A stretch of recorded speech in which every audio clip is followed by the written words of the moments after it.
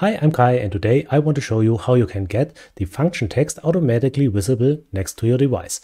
In this example, I want to show you how you can use a relay coil and show the function text or the path function text on the coil automatically and also on the changeover contacts of the relay, which can be placed somewhere else in the drawings.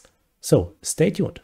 So I have added here a path function text. So basically this is a normal text, but you need to select the checkbox here, path function text, and then ePlan can take over this text also for other devices.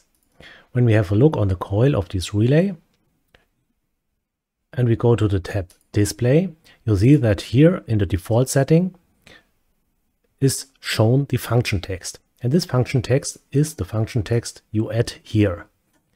This can have also some advantages I show you later in this video. But in the moment we want to have the path function text below the coil. So we need to change this. So we go here to edit. And here we search for text. And then you have the function text automatic. And here in the preview you can see already that the function text is taken over. And now you have the path function text on the coil automatically. The problem is when we push I on our keyboard, the path, function text needs to be directly under the coil. The insertion points, which I have shown here, needs to be under each other. So when I move a little bit the path function text, go to connection and update, you see that it's gone. And when I shift it back and update, we have it. For this, there's also a setting in ePlan I can show you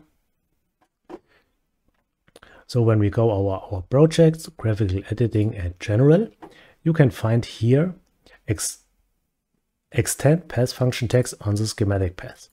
So what happened now is that ePlan used this function text as long as it's within the path. So when we go on the view tab and here on path, we can also show the path. And when I move it now back to here, connections and update, it keeps it. When I'm outside of the path, it's gone. So I shift it back and also make the settings back.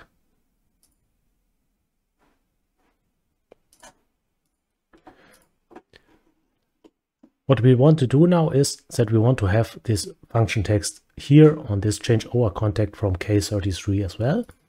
So we double click on it, go to the tab display and go to edit. And what you would expect is that you use the function text automatic.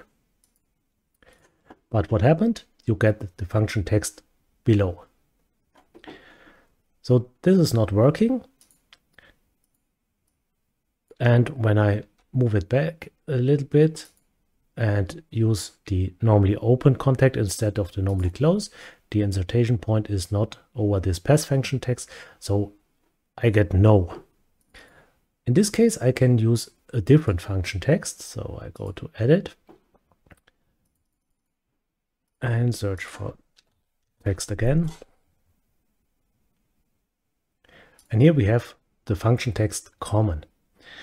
You have also a description here. So what this means is when there is no function text below this change over contact, it will take over the function text from the main function.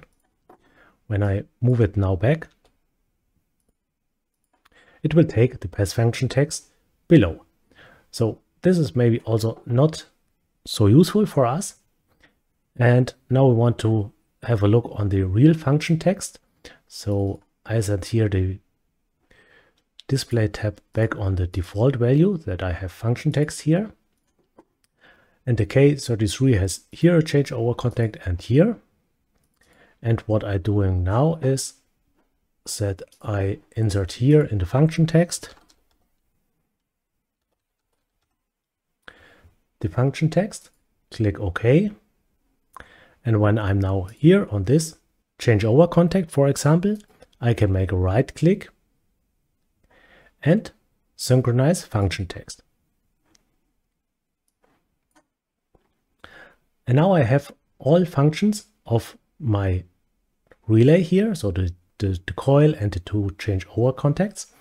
And now I can select transfer function text and all functions get automatically our function text. So now I have the function tags on the coil and on both changeover contacts. Thanks for watching this video. If you have further questions, please leave a comment below this video. Drop a like if you enjoyed and don't forget to subscribe and activate the notifications. Hope to see you in the next video, which I recommend you on the right side. Grow your ePlan skills.